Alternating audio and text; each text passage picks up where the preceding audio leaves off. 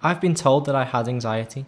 At one time in my life, it had a really bad effect on me. It stopped me going to school, mixing with friends and family, and from doing some of the things I wanted to do or had to do. I love my mobile phone and computers until I started to get bullied. At first, I didn't know I was being bullied. I thought bullying was face to face. I started to get messages saying horrible things about me and seeing terrible images. It really freaked me out. I couldn't tell anyone about it. Sometimes the messages would appear then disappear very quickly. It was difficult to tell anyone about it as the images weren't there. I then started to think everyone hated me and people were always looking at me. I didn't always know who was sending me the messages. I used to feel frightened, sad, confused, lonely. My stomach was in knots, my heart pounding, my legs were like jelly.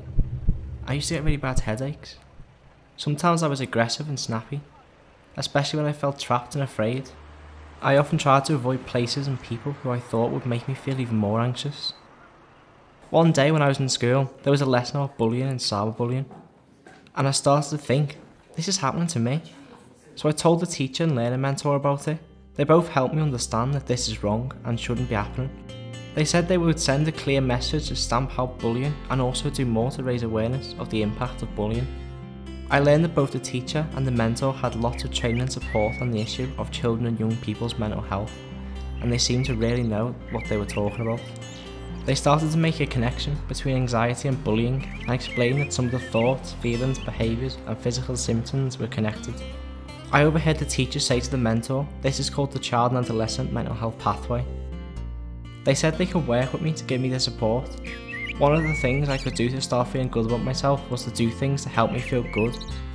Just like they tell you to be five fruit and veg a day, there are five things you can do to help your mental health, to help you feel good about who you are. The five things I like are playing football, talking to friends, animals, listening to music, and Minecraft. They also taught me about resilience, you know, about being able to build up strength to handle the tough times. They told me that they would support me with this. Life can be tough and there are not many magic answers, but there are things that can be done to help you feel strong to handle those times. The basics.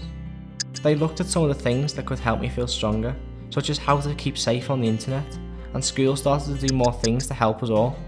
The mentor also mentioned about looking at more leisure opportunities as alternatives to always being on my mobile or my computer.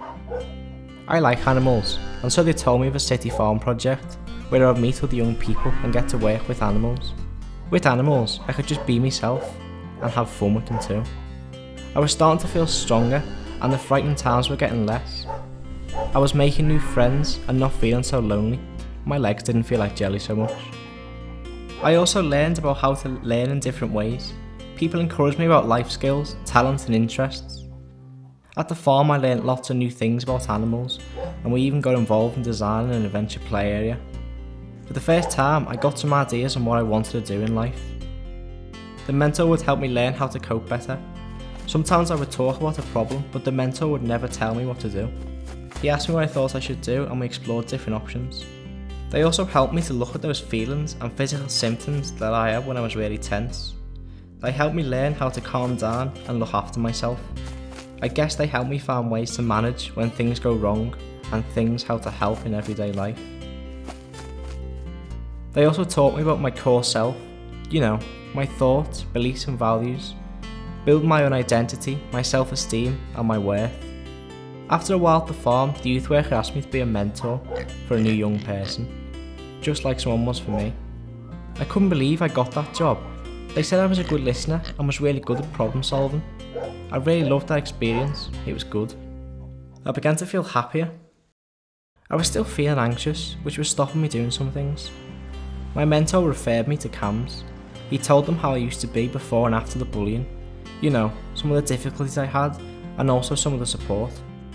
I was given a counsellor who listened to me and she helped me think about why I was feeling anxious. Looking back, I could see it was more than cyberbullying. She also suggested that I attended a group with other young people. She helped me to see how I was getting stronger, getting more confident with computers, and just enjoying life.